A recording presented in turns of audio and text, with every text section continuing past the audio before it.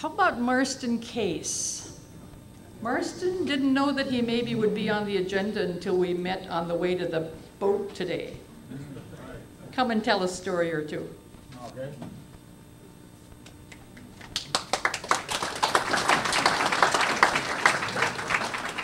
Thank you. It's nice to be among all my old neighbors from Island Park. I was I lived here on Island Park from about 1931 to 56, say, over in Avalon, the other end of uh, Manchester Lane from the Iversons, corner of Manchester and uh, Tuxedo Boulevard. And uh, I wouldn't uh, be coming to your reunion today if it weren't for my mother, Antoinette Case, which many of you knew, uh, Tony Case, her nickname was Tony, and she did a lot of things at Mound and for the island. And so I'll tell you briefly how she happened to come on Island Park. Uh, she was living in Minneapolis.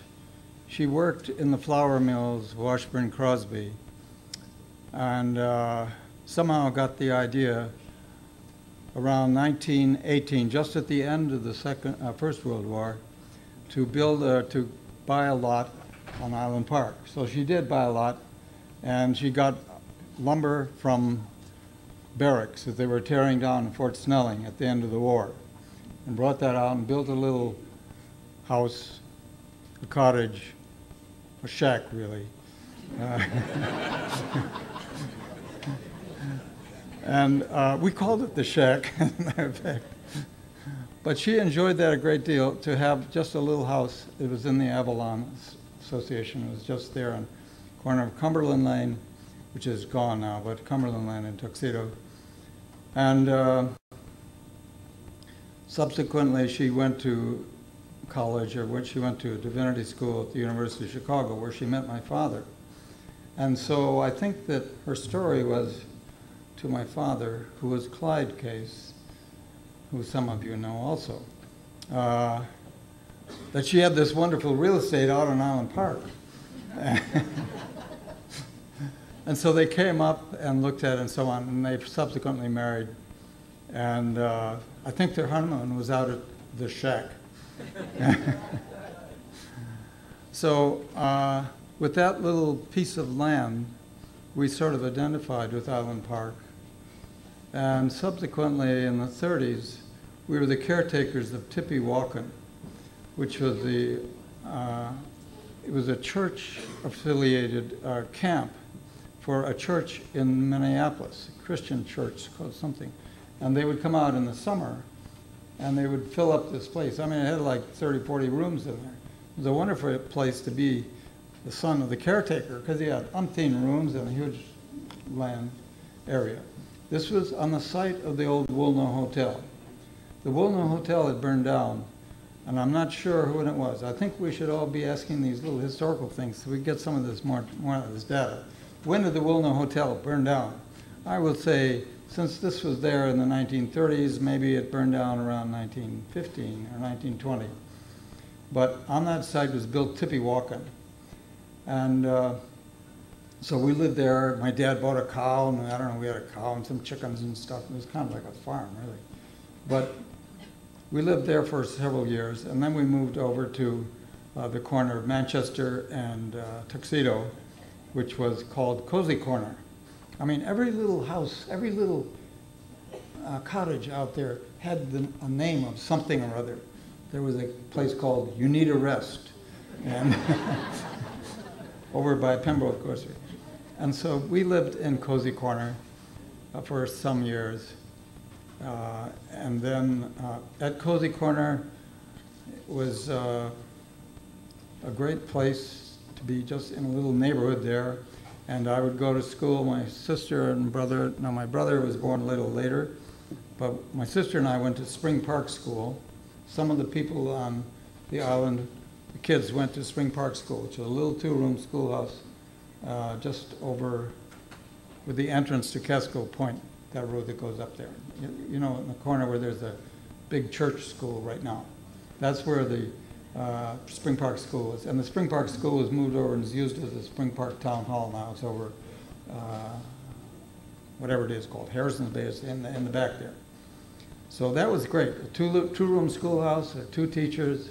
It's a wonderful kind of country effect. And I went to Mound High School. I graduated from Mound in 1945. My parents lived here all their lives, uh, and they died in 1988 1995. My mother was quite, she was 104 when she died, but she left a long heritage uh, at Highland Park. And you can ask me any more questions. I can't talk too long because we've got a lot of people who could talk to you about their experiences on Island Park. Thank you. All right, we're going to move now from the 20s into the next decade or so, and Jim Ogland is our next person. Jim.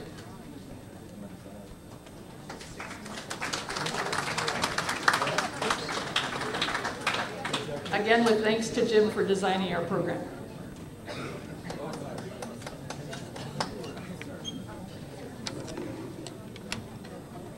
Some of my most uh, memorable and vivid memories of growing up are those while living on the island. My parents, my brother, and I moved uh, from Minneapolis to the island in the summer of 1939. I was in the third grade. We had a cottage near Schoning's Grocery, and uh, the summers were spent swimming at uh, Chester Park. Uh, we'd get up in the morning, uh, have a little bite to eat, grab a swimming suit and a towel, walk on the blacktop down barefoot uh, down to Chester Park and swim until noon and come home for lunch, uh, go back to Chester Park and swim till it got dark. So we had, you know, a wonderful summers. We lived there about three years, and it was, it was a great life. We also swam at uh, Brighton Commons, which was right down the hill behind Schoning's Grocery. That's like Grimm's store, it later became. Um, at that time, the shoreline was all bulrushes and, and uh, cattails, about 75 feet out from shore. We had a flat bottom rowboat uh, kind of stashed away in the bulrushes there, and we used to row it occasionally up and down the shoreline. Almost every day there was a middle-aged woman, a rather portly woman, that swam there, and she, I always remember she had a white bathing, rubber bathing cap on and a black wool suit. And she would uh, float, and she often fell asleep while she was floating. so one day we tied a rope on her, and uh, with, with a flat bottom rowboat, we towed her down through the Wychwood Bridge, and, uh, down the channel a little ways, and turned her loose, drifted. And, uh, you know, I've thought about that a thousand times, wondering what she thought when she woke up. You know? and, uh, she wasn't the worse for it because the next day she was back floating and snoring again.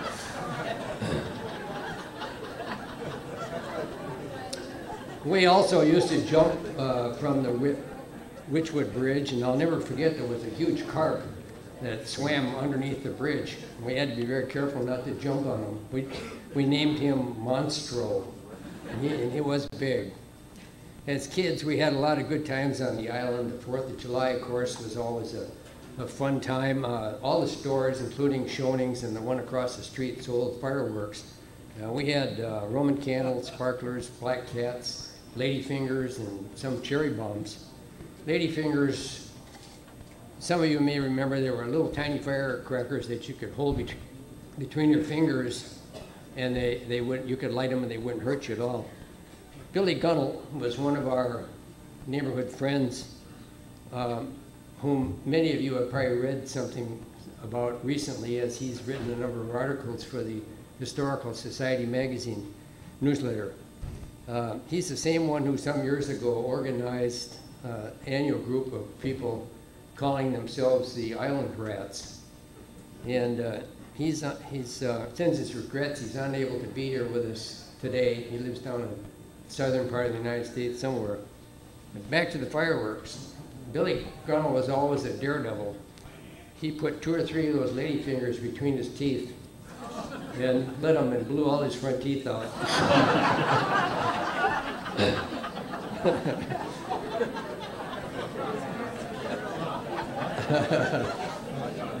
that might be an exaggeration, but he did crack his lips. And, uh, And, I, and I'm sure he had some loose teeth. He didn't smile for a long time. Uh, I, I uh, recently told you that if I was told recently that if you lived on the island, you you were automatically an island rat until you, you jumped off the Red Bridge. Now I just heard again this morning somebody contradicted that and said you couldn't be an island rat unless you jumped off the Red Bridge. So whatever it was, uh, there are some island rats here that uh, some of them got a pin that or button that we made. Uh, this is the bridge. The red bridge is the one that connects uh, Island Park to Enchanted Island. It seems like everyone has an Island Park story. Uh, while I was having coffee just this morning, uh, a friend told me that in the early 1940s he rented a cottage on uh, Douglas Beach, a honeymoon cottage, and then he got married and went on a honeymoon up north, some lake for a couple days. When he came back, he hadn't been home a few minutes, but a friend, a co-worker, drove in the driveway and said, I got bad news. Your draft notice came while you were gone. And he said, well, didn't you try to get me an extension? Yeah, we did, but it's only three days. well, let's move on to the roaring 20s. There was no time really in American history that was anything like the roaring 20s. This was the jazz age, and the Charleston was in full swing. Marathon dancing was being held everywhere. Women smoked. They wore flapper dresses and had their hair cut short and bobbed. And rouge and lipstick was becoming respectable. Americans, including Island Park people, were ready to experiment with personal freedoms. The automobile was, was coming on strong. Model T Ford could be bought for less than three, $300. When the 20s started, there were nearly 7 million cars already in the United States. And by the time that Henry Ford brought out his Model A in 1927, there were three times that many, 21 million cars. Aviation was becoming a real business and changing from barnstorming to transporting mail and pass carrying passengers. American culture was literally exploding. The 20s saw a tremendous change in America, on the island, and throughout the world. For better or worse, the Roaring Twenties caused a profound liberalization of personal behavior. In 1923, the residents of Island Park uh, voted 131 to 79 against incorporation. The summer population at that time was about 3,000. A year later, in 1924, on November the 8th, Island Park incorporated. They had their own mayor, their own constable, and their own justice of the peace. By 1925, the island was pretty much all developed. All the subdivisions had been platted, and most of the hundreds of lots uh, had been sold. Someone once said that the island, on the island, there, there's a house behind every tree. And that certainly is probably true. All the good, all the old rules seem to be vanishing in the 20s. Times were good, in many ways a good time to be alive. It was gaudy but nice. For many years, the temperance movement had attempted to improve the moral fiber of America by outlining, outlawing alcohol. Their efforts finally culminated in the 18th Amendment, to the Constitution, making it against the law to produce or consume alcohol in any quantity. Prohibition went into effect January 16, 1920. Immediately thereafter, organized criminals such as John Dillinger, Babyface Nelson, and ordinary citizens began making bootleg alcohol for profit. Many citizens patronized bootleggers, made atrocious gin in bathtubs, and worse beer in the basement. Lake Minnetonka residents, including island dwellers, many of them summer residents, disagreed with prohibition and frequented local speakeasies, of which there apparently were a number of them on the lake. Numerous items printed in the local paper, that would have been the Mound Pilot, indicated that speakeasies were very popular places and that authorities made frequent raids on them to, to, in order to uphold the law. The articles in the paper state that bootleggers, who often were referred to as leggers, were using fast boats on the lake uh, to avoid apprehension. It was also reported that the boats were trafficking in liquor on Cook's Bay. I know a couple, of a couple speakeasy houses that were former speakeasies uh, up in um, the Heights and along the shore there. Prohibition was finally repealed in the, by the 21st Amendment in 1933. The Roaring Twenties were a wonderful time, but it had to end and did so with a market crash in 1929. The island went on to become year-round living for hundreds of families, and it was and is a very special and unique place. Uh, It was, the Roaring Twenties were like no other time, and thank you. Thank you, Jim. Now, my next fella here, I haven't met. Yes, thank you. Can you speak right up so you're All right, touching fine. the microphone? Mom, Dad? Uh, There are probably not more than three or four people in this room that remember Chester Park, but, uh, oh! Look at that. Well, it was most interesting place. Uh, Probably as small an area as any place on the island, and uh, there were maybe a total of 12 people around. But we, uh, my sisters and I grew up there. I graduated from Mound High School. And that is about the extent of it. Uh, uh, Chester Park itself was very, very small area. Um, It's hard to, hard to think now how they could have maintained a grocery store in that location with that population in those days. Uh, Very, very few people. But uh, prices were high, so that probably helped a good deal. There's not a lot more I can tell you about it, except it was a wonderful, wonderful area to grow up because there were so few people. The whole island, uh, oh, I'm sure there are more people in the room here than there were on the entire island. Oh, I'm certain. At our table, I think that was a extent. Six of us. I don't know why I'm here because frankly, uh, that's about as much as I can tell you about Island Park. Unless you'd like to know some of the prices that they charge for Wheaties and such. Uh, I don't know about that. There's very little I do know. um, is Don Cox here? I saw him. Hi, Don. Just wanted to say hello. Uh, Would somebody get the hook and get me off of here, please?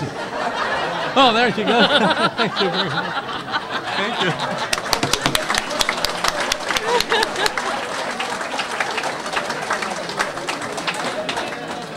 That's actually the only reason they wanted me to MC, because I said, I got a hook. Now we'll have Sandy Sherman come talk about Pembroke Park.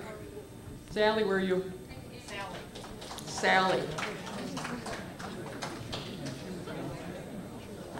You need to stand right up to it, right up like To which one? this one. That one? Okay. Okay. Hi. Uh, my grandparents, May and Alfred Shervin, moved to Island Park in early in the early 1930s. And their first home was on Edsel Road, also known as Douglas Beach. They had three children: Marjorie, born in 1916, Alfred in 1921, and Don in 1928. We love the pictures of them in their 20s style bathing attire. We know they lived in that house until the late 30s because my dad, Al, remembers playing football the lengthwise on the beach during the drought of the mid 30s.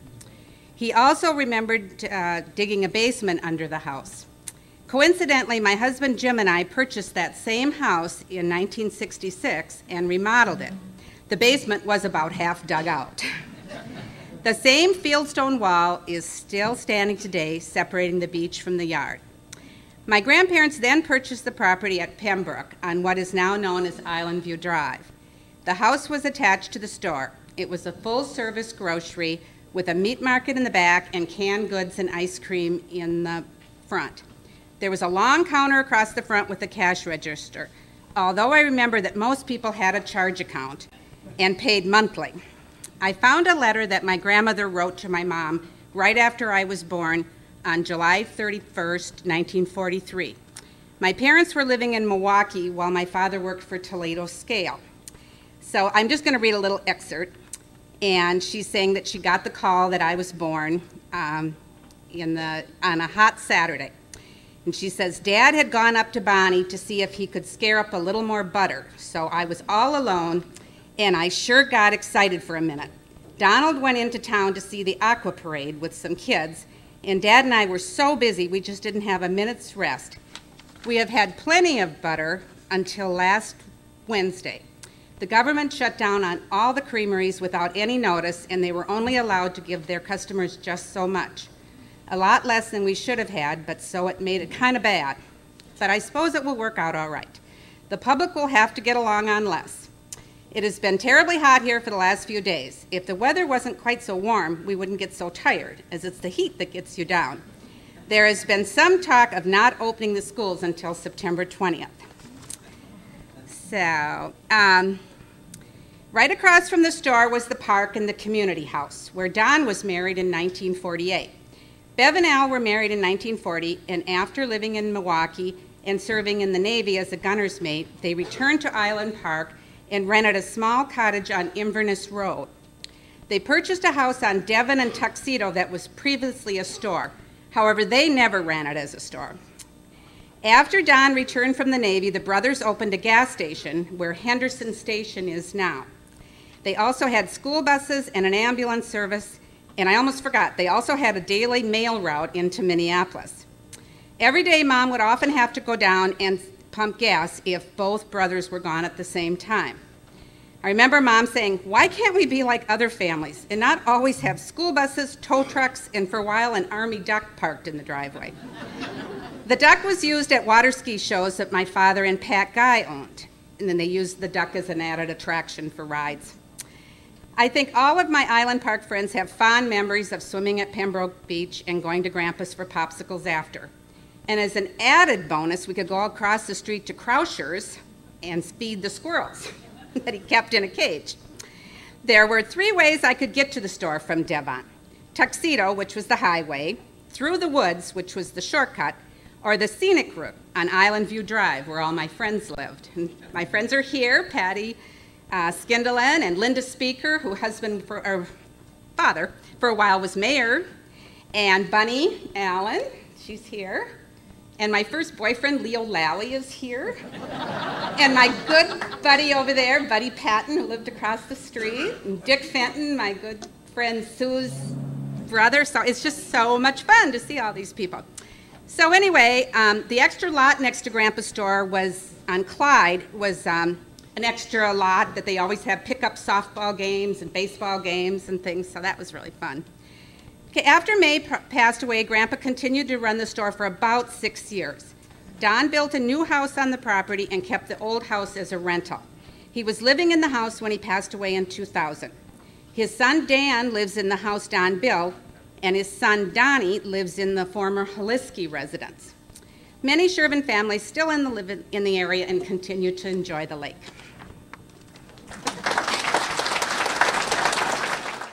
Thanks, Sally. How about uh, Judy and Donnie? Judy Quist, Donnie Bryce?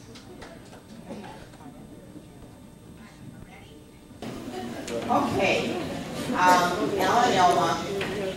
I lived on the island my whole life, well, since I moved up north, but I was born in nineteen forty-five, okay? Ran the, mom and dad ran the Mall Pavilion in forty-eight or forty-nine, which is where Mound Beach is, and the casino roller rink. Does anybody remember the good old casino roller rink? After the casino, they had the surf Had an excursion boat called the Star, which they ran on Lake Minnetonka. Excuse me, would you put the mic right up to your mouth, please? Ah. Stand up. Okay. Uh, they never ran boats while they owned Al and Elma's, but they had excursion boats called the Snark. But anyway, getting back to early times, mom did domestic house cleaning. She worked at Molded Products, worked at Cedar Engineering. Of course, dad was on the Island Park Fire Department. He was the Island Park Constable. They cleaned the IP. Does anybody remember what the IP is? Island Park Liquor Store, all right? He was a cement finisher, which he hurt his back while working on the Met Stadium. So that ended his career as a cement finisher. Then he worked for the streets of Island Park after El Bowl. Always, Daddy always made the best spaghetti sauce, doctored up the ground beef for the hamburger for field days, so he had to start a restaurant sometime. He did work for Uncle Pat at the Dello, and he worked in Jackson's Corner in Navarre. Where else, I don't know. He bought Chester Park Burrick and Tavern in 1957, the middle of my seventh grade.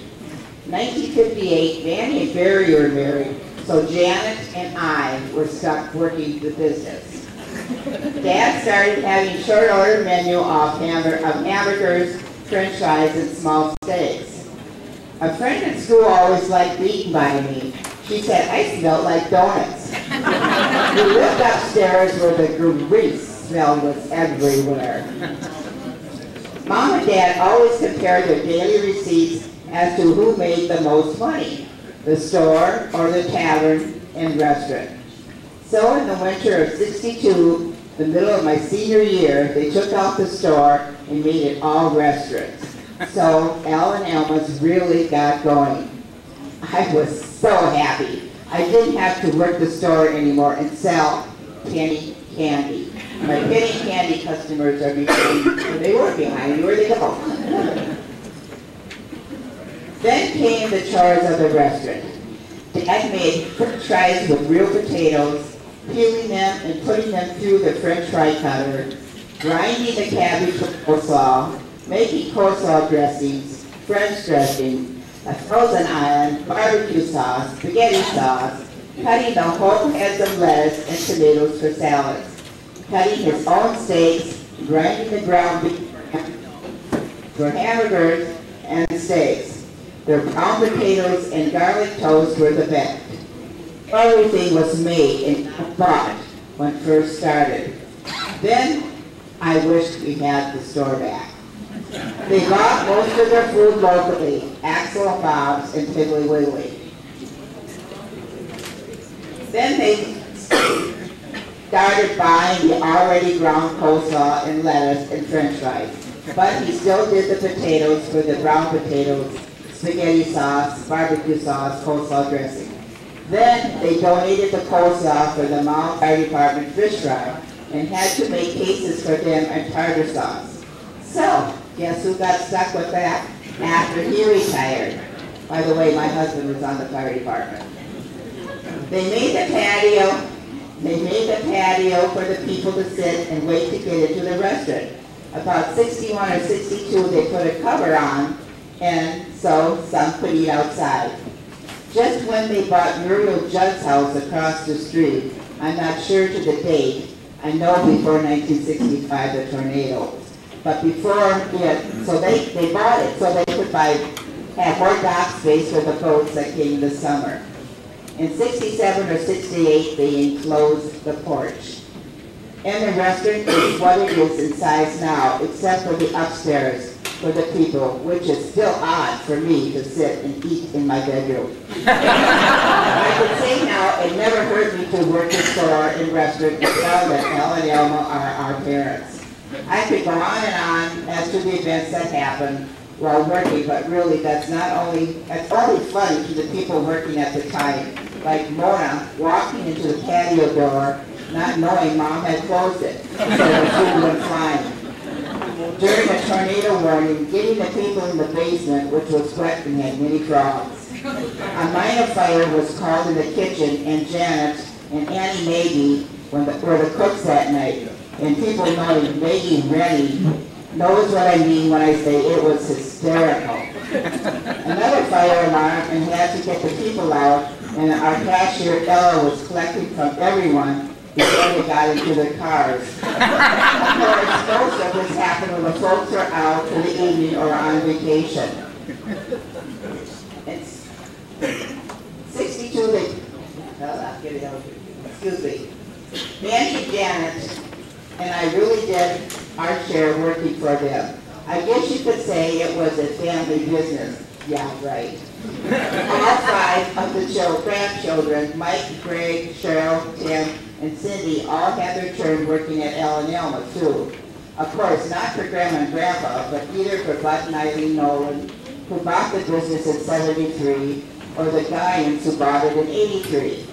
Also somewhere, my son-in-law worked for Ellis too, but then didn't know who he was. Now getting to the fourth generation, generations, three of five of the great-grandchildren has worked at the restaurant, and two of the girls still do. I have always wondered what life, what, I have always wondered what if the folks had bought Chester Park, what life would be without Al and Elma's. Lifelong friends that we have all made here. Would we have met one another? The neighborhood would have been quiet. People not getting lost, driving on the island and always asking for directions. I really didn't know how to live a normal life for a while, having weekends off all the time when they sold. It was hard, fun, rewarding adventure for them, and we are so proud to say that Al and Elma's is here to stay, and we do say, hey, they are our parents. Thank you. Doug Easthouse, please welcome him. As I look out, I see a lot of, of familiar faces and uh, some new ones that I'm not familiar with. But uh, to me, there, there's three types of people in Island Park, and that is uh, there are captives, there's escapees, and there's volunteers. Uh, 54 years ago, uh, Donna and I uh, got married. I got drafted into the service. I thought I'd better do it. And uh, they put an announcement in the Mound Pilot. If you remember, the Mound Pilot was Abe Braisman's paper. Uh, they said, Doug Easthouse weds Island Girl. They never mentioned her name.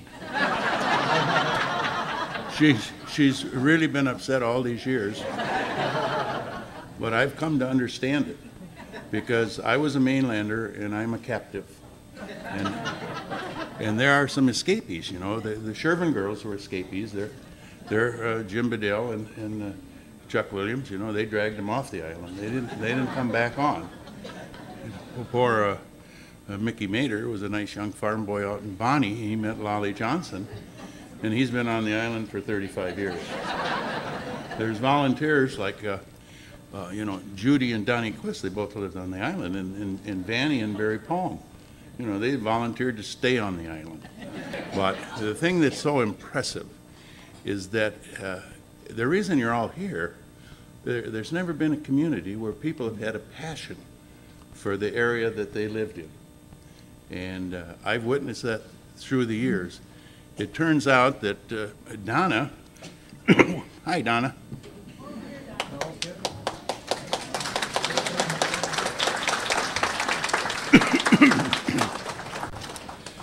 Turns out that uh, Donna comes from the Bryce family. Her mother was Maggie Bryce, who was a daughter of, of uh, Alex Bryce called Scotty.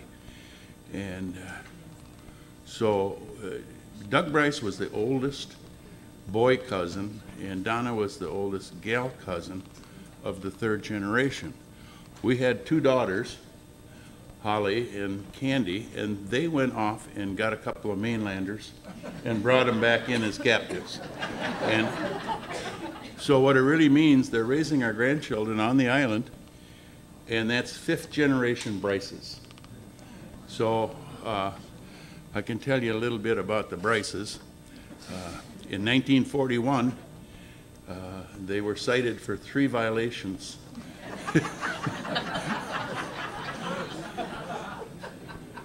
Fishing without a license, over their limit, and shooting a pheasant out of season. Now, this was Can you just stand right up close to the mic? yeah, okay.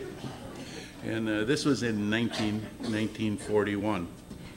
But uh, in the in the Bryce family, of course, there's Lou Bryce, and I haven't I haven't seen her tonight. I don't know where she is, but she's hi Lou.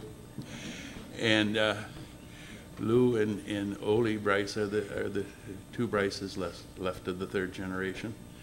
Uh, Ole is down in Florida, and Lou, of course, is here.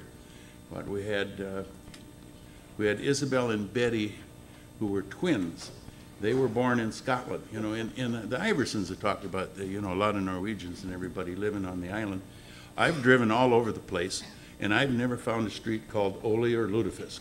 Neither one of them. They're all Scottish names, so I think this, I think the Scottish people got here first. Scotty Bryce had boats uh, down in Devon that they rented, and in those days, if you wanted to go fishing, there wasn't the demand for boats or dockage or high-powered motors. If you wanted to fish in Crystal Bay, you went over there, some guy had a few boats, and you could rent boats, and you had to row out to where you fished. Well, Scotty Bryce had, had uh, uh, several boats down in Devon that he rented out, and, and I know there was, uh, I've talked to Jim Scruton about this, and he denies it, but Scotty said, them, them damn Scrutons, they let my boats go again. So, But uh, Isabel and Betty worked at the Hotel Del Otero. They were born in Scotland, but when they settled in the early 20s, excuse me, uh, they being the oldest, they were working at the Hotel Del Otero. Uh, Al Jr. was uh, the third oldest. He was born in Scotland, and I guess Nicky was in the basket on the way. So uh, uh, then there was uh,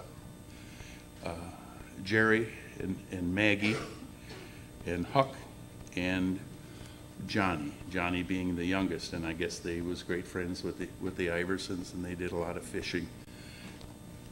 Al Bryce, uh, you know, it was kind of funny. In those days, the people didn't value the lake shore because it was it took more wood to heat the houses because of the exposure to the elements. And if you look at the island, most of the uh, housing the, of the early settlers was in the core of the island, around around the park and where the village hall was. Uh, the Iversons settled there, the Bowles settled there, the Simers settled there, the Swensons settled there, and and you wonder why with the lakeshore today we, is so valuable and everybody's fighting for it. People didn't care in those days because if you had a boat, it was just a rowboat, and there was no problem getting access to the lake.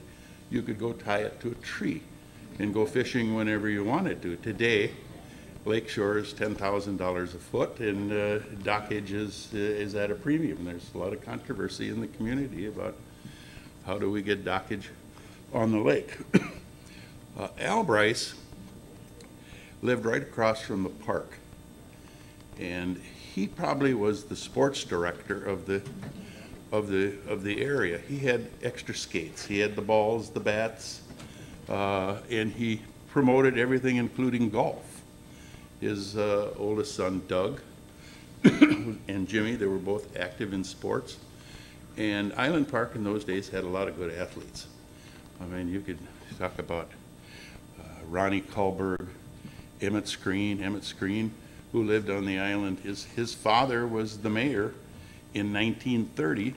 And in fact, uh, what I did to broaden my knowledge of, of the early history of the island, because I didn't move on the island until 56, I've only been here 50-some years, but I didn't know much about the early history. So I went to the Hennepin County Library, where they have on microfilm all the, all the uh, issues of the Minnetonka Pilot from 1922. And it was really interesting. You got a lot of, a lot of facts, and, and uh, they talk about all of the athletes that, that we had uh, that came out of the island, Don Shervin. I, I got a list of the boys, but I keep, like, the list keeps growing and growing and growing, and I can't mention them because I'd forget somebody. And there were a lot of them.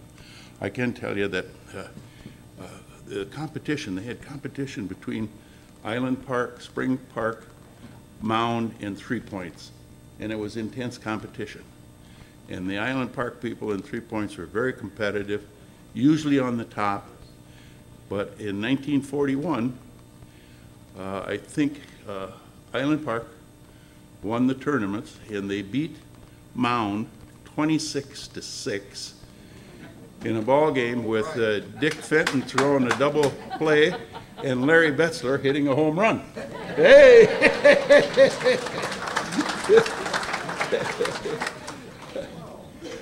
Uh, in, in the pilot, reading some of the interesting stories, Wychwood Bridge had uh, the Wychwood Inn, and Donna tells me that on weekends in the 30s that her the Bryces would go to the Wychwood Inn and raise whoopee. Well, look, looking through the paper, there was an article about Valerie Cordello, who owned Wychwood Inn, and in 1930 they built the new bridge. Now, the Iversons claim that when they came, they, they, they walked their cows across the creek to get on the island. So I have to assume that the, the channel wasn't dredged. So in 1930, they dredged, I'm assuming this, they dredged the channel because they raised the bridge.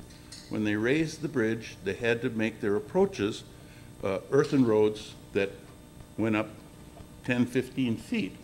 In effect, what they did was they blocked off the whole north and east side of Wychwood Resort and Inn.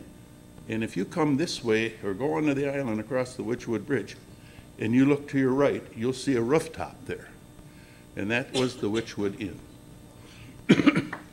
so Valerie said that Hennepin County in building that road had spoiled their, thank you, had spoiled their access and visibility of their resort, and she sued them for Hennepin County for ten thousand dollars.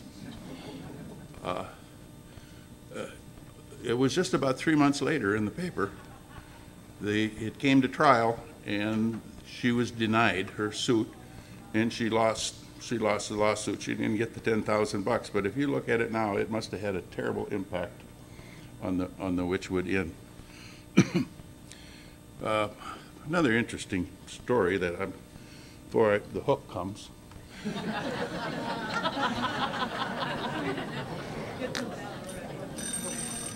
Here it is.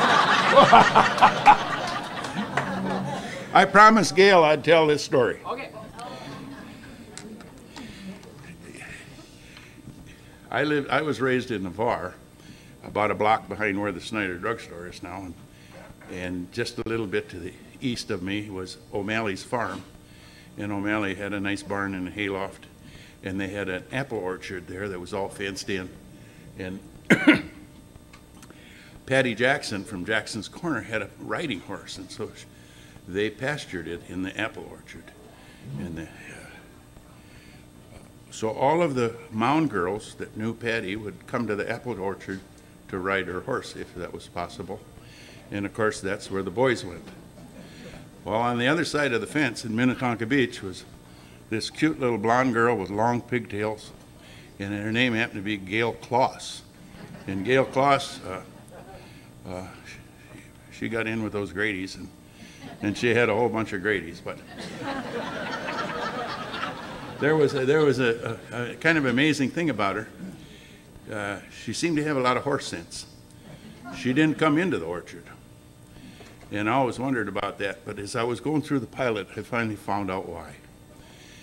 Uh, it turns out that Gail Grady, who is the daughter of Emma Kloss, husband of Frank Kloss, is Emma Kloss is not uh, an unknown. She is the daughter of Jacob Seimertz. Now, that's the sister of uh, George and you, most of you probably know George Seimertz, but so here, George Seimertz was his uncle, and I got to read this to you. It's too good. I got to find it first. Here it is.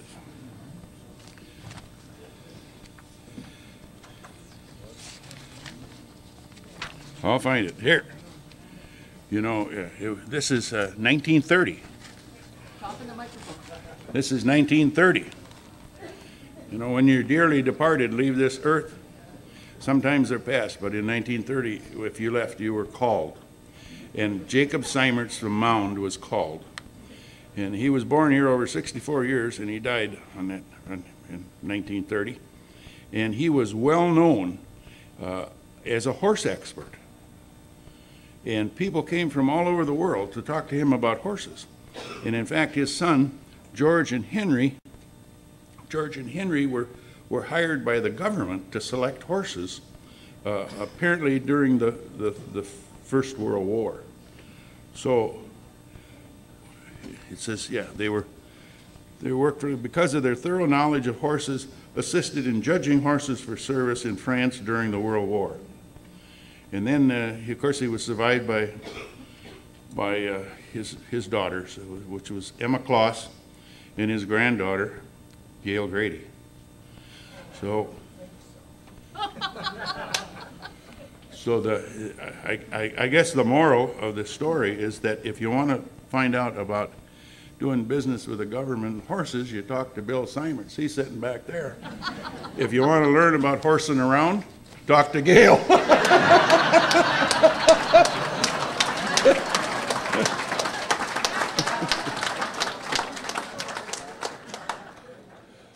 you can pull the hook.